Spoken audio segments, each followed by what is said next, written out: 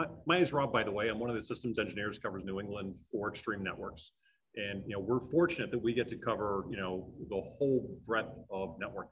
We do everything from switching to routing, and we do a lot of work in the Wi-Fi space. And a couple of years ago, I, I, I came from a history of being a switching guy, right? Switching and routing were my happy space. People would talk about Wi-Fi. I didn't know what they were talking about. Um, and probably about five or six years ago, I had a customer look at me and say, I think I bought my last campus switch. I said, What do you mean? He says, Well, the other day I was walking through my development environment. I looked at somebody's desk and they had their laptop sitting on the desk, not three inches from the RJ45 connector on the laptop was the wire that was going into that switch port that I was paying all kinds of money for. And I realized they're just connecting to the Wi Fi. Nobody's really using that wired network anymore. And that has been a continuing trend that we've seen for the last, what, five, six, maybe even 10 years, is we're seeing the steady migration of consumption. We're moving away from those fixed devices, those wired devices that are physically plugged into a wall, right? And what we're migrating towards is we're migrating towards much more of a wireless universe, and we're migrating towards much more of a battery operated universe. Um, and so what they kind of asked me to talk about was we're doing one of our generational changes in Wi-Fi right now, right? It's, it's that migration from Wi-Fi 5 to Wi-Fi 6. And this isn't the first time, I mean, you can tell by the number, right? It's not Wi-Fi 2. Um, we've done this migration before. This is not an earth shattering thing, but it's really good to see what are some of the things that we're doing with networks to try to evolve as an industry to be able to support more than what we've been doing in the past, right? So my first question for you, I, I have a trivia question.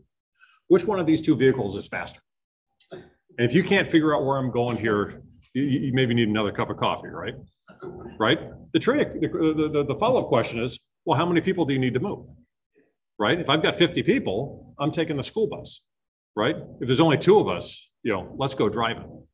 And that's really what's happening inside of Wi-Fi. Historically, we've always been focused on bandwidth. How much bandwidth can I say? You hear everybody talking about, well, we do 256 QAM, we do 1024 QAM. We're all about the speeds and you know how fast things can happen. And the reality is the speed of Wi-Fi is not the problem. First of all, the average company has about two dozen access points for every gigabit of internet bandwidth. And everything I've been hearing about here is all about everything moving to the cloud, right? What does that mean? the vast majority of the data that companies are generating are going up through that through that um, you know that internet connection. Even when you work from home, you're not governed by how fast your access point is, right? You're governed by two things. One is going to be how big is your internet pipe on your end, and of course on the other end, right? Um, but you're also going to be governed by how available is the frequency space that you need to use to connect using Wi-Fi. And that's kind of where um, the Wi-Fi 6 and the Wi-Fi 6E standards have come in and says, what are the problems that we're trying to solve? Right? They looked at it and they said, well, obviously, you know, everybody wants something that's faster. So there is a throughput component to Wi-Fi 6. But the really big things that we're looking at are capacity. It's not how fast do the cars go down the highway, it's how many cars can we get down the highway, right?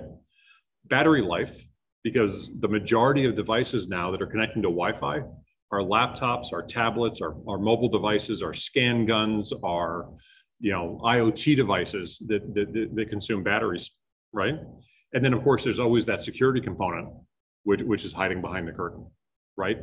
Do we have an opportunity here to do an upgrade? If you think about Wi-Fi, right, much more so than any other technology, is we live in a world of backwards compatibility right? I can go all the way back to 1997 when they came out with the very first 802.11 specification where this two megabit um, system and it operated in the 2.4 gigabit gigahertz uh, ISM band, right? And as we've gone on, and almost immediately they updated to Wi-Fi one, but it had to be backwards compatible, right?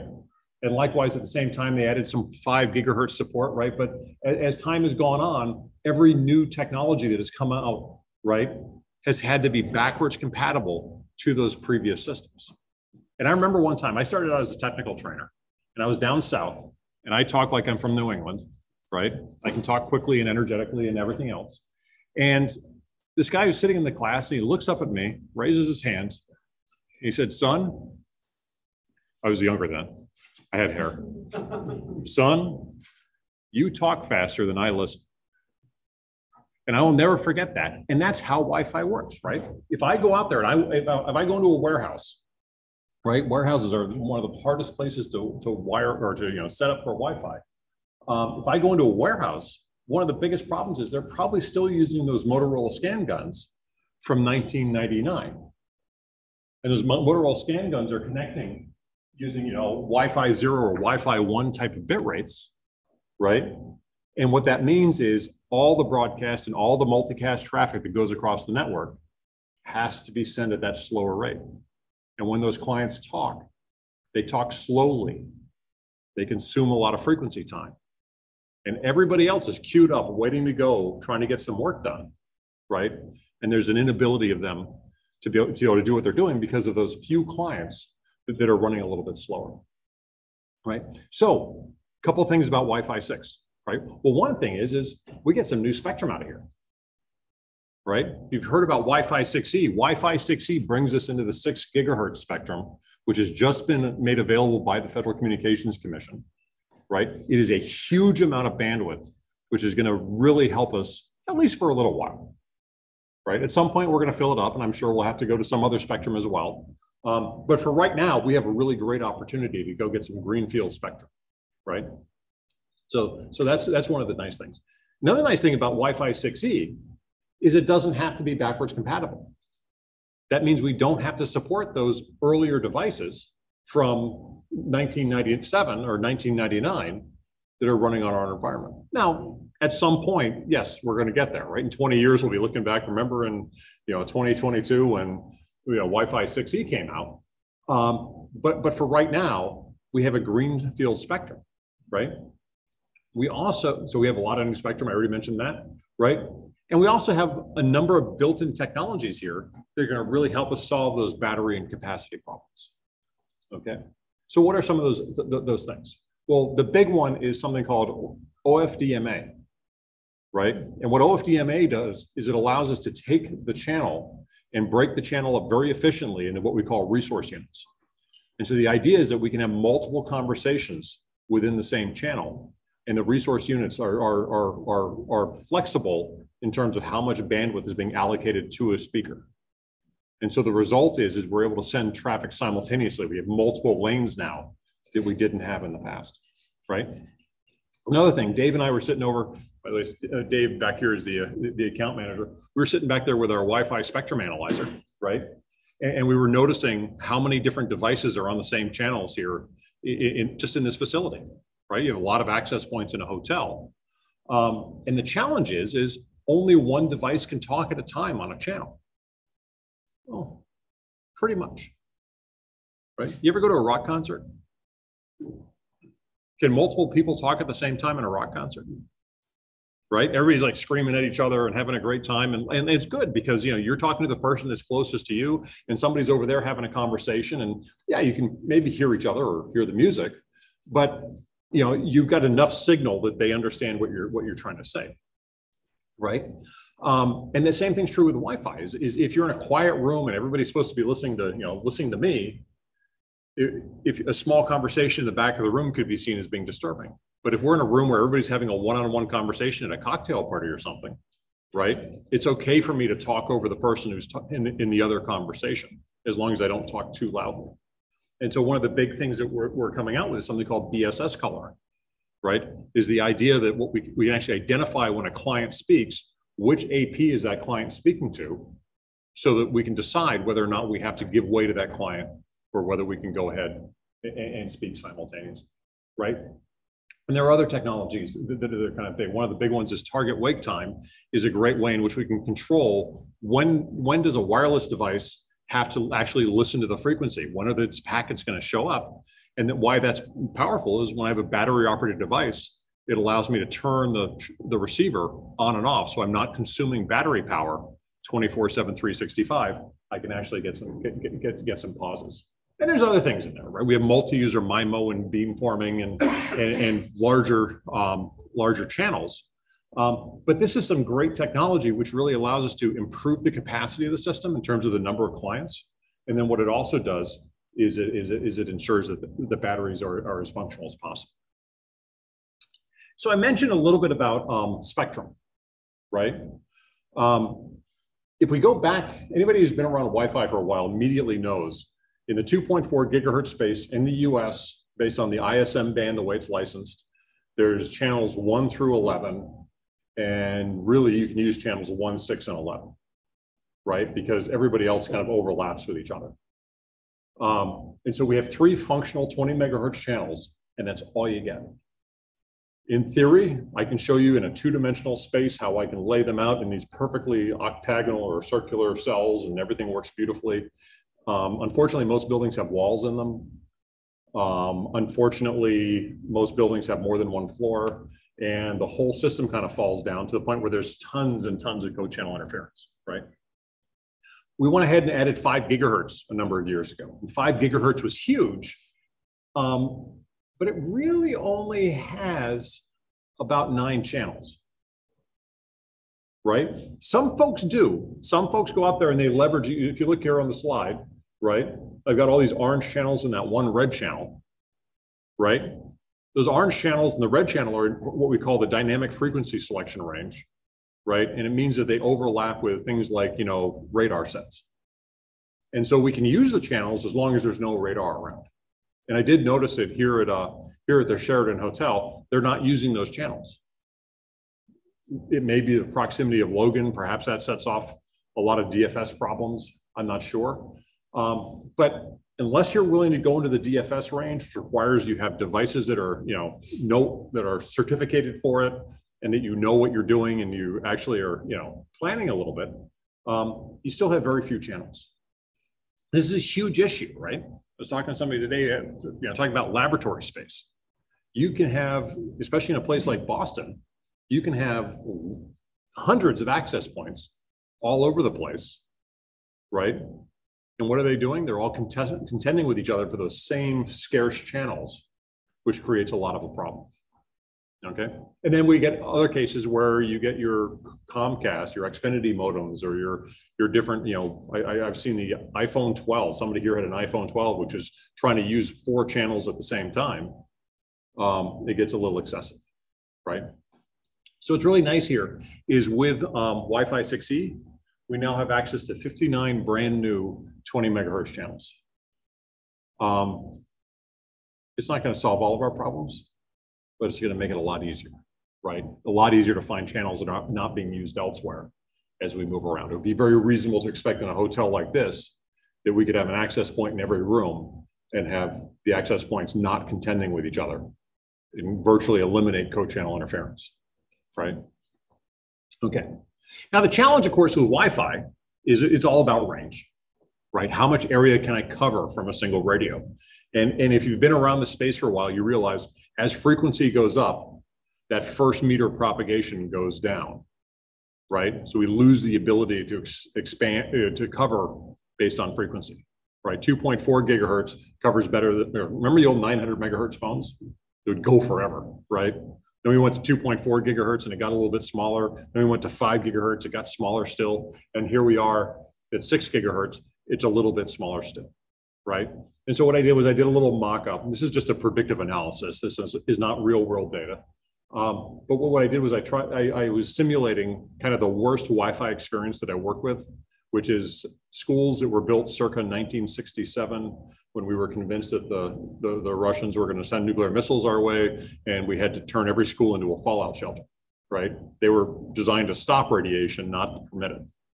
Um, and you can see the difference in the propagation. There's a huge difference between 2.4 and 5. There's a small difference between 5 and 6, right? But it's a little bit. You may find that you need to put an AP in a hallway, or you may need to put, put a couple extra APs in there um, as we move on. One of the other big differences, I know I'm getting into the bad news here, right? One of the other big differences is around um, what we're allowed to do with these access points, right?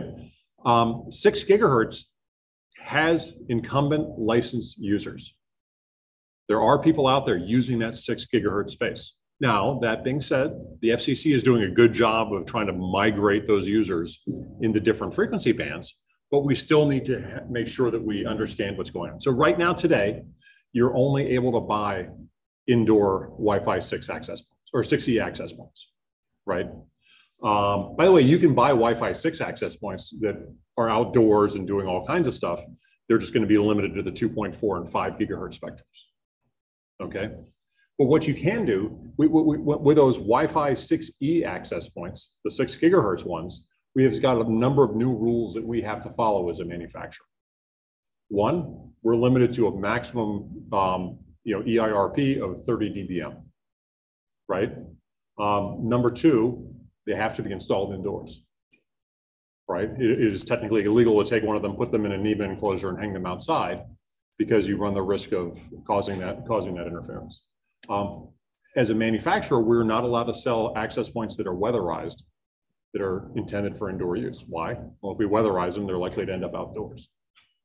Um, we're not allowed to put them in a vehicle unless it's an airliner flying above 10,000 feet. Um, we're not allowed to give you battery power, well, except for backups, right? Um, and we're not allowed to give you external antennas, right? The first six of those are probably not that big of a deal right? The last one is turning into a little bit of an issue because we deal with a lot of spaces where for aesthetics reasons or acoustics reasons or, you know, environmental reasons, we don't want to put the access point in the room.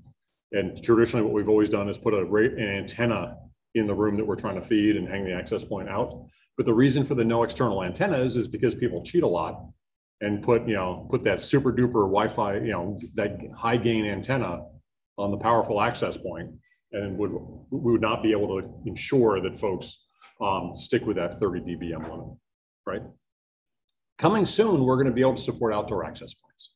And when that happens, the, the, the sticking point here, which is making it a little bit challenging, is we're going to have to use something called automatic frequency coordination. And that just simply means when you install the outdoor access point, the access, access point is going to have to know where it is, and it's going to have to make sure that it's not con, um, conflicting with any licensed uh, services. And the way it does that is going to call home to the, basically to the FCC. And the FCC is going to say, yep, you can use at that location, you can use that frequency, but you can't use this other frequency. Okay. Another big part to Wi-Fi 6E is, um, is, is a change in security, right? We're always trying to advance security. Security is always, you know, what, what's secure today is going to be exposed tomorrow. We, we all know that. We've seen that uh, routinely. Um, and in Wi-Fi, you know, we, we, we've gone down quite the chain of different security standards, right? We started out with WEP, wired equivalent privacy. Well, yeah, the wired was never all that secure, so I guess we I guess we met the goal, right? Um, WPA came out in 2003, right? Both WPA and WEP are have been easily hacked, right? Uh, WPA2 came out very quickly after WPA, right, um, in 2004. We've been running pretty much unchanged, other than, you know, we, we moved from TKIP to CCMP, um, but pretty much unchanged in WPA2 since 2004. And, and, and WPA2 is not broken, right? You can have a secure network with WPA2, but it's also not perfect, right? It's got a couple of issues. Um, one is there's no rate limiting on the authentication checks. And so it's open to brute force attacks, right? If you just iterate through all the different keys, eventually you're going to get the right key. Um, it's also it's a key-based system, which means that it's rel if you know the key, it's relatively easy to go in there and actually um, you know decrypt traffic, right? And then the last one is on an open SSID. You know, you go into Starbucks or you come here, right? We're connecting on an open SSID here. Is your data encrypted? No, right? And so that's one of the big, so, so we, you know, at the same time as Wi-Fi 6E, the WPA3 working group has been working, and the decision was made that Wi-Fi 6E will no long, will not support WPA2. You're going to be required to use WPA3, um, you know, if, if you're going to run Wi-Fi 6E. This is a little bit of a challenge. And the reason it's a little bit of a challenge is that we want to make sure that folks are um, you know, the legacy clients are able to talk on the new network. And a lot of the older clients only support WPA2. And so what we've been able to do is build systems that allow us to automatically select on a per client basis, whether we use WPA two or WPA three, and then obviously when they go to Wi-Fi six E, they have to use WPA three. Okay.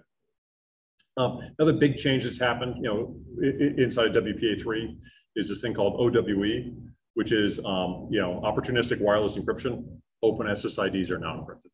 We've kind of divorced authentic authorization from the encryption side of it. Okay. Um, I'm being told I need to, need to move things along. Be aware that we do have a lot of clients out there already. There are a lot of access points out there already. We already do have that rogue access point and rogue client risk associated with it. So being sure that we get our WIPS and WIDS up to speed is probably going to be important, right? And then I would, I, you know, I've tried not to make this a sales pitch, but I have to give at least a little bit of a sales pitch. We do have the AP four thousand, I believe it was the industry first six gigahertz access point, at least at the enterprise, enter, enter- enterprise level. Um, it works with both our cloud-based management, which if you want to hear about Extreme Cloud IQ, we would love to talk to you about it over at the booth. Um, and then we also have our XIQ controller, which is an on-prem system, which works very much the same way. So I know I'd love it if you came over and talked to us. I know Dave, Dave O'Brien over there in the corner would love it if we came over and talked to us.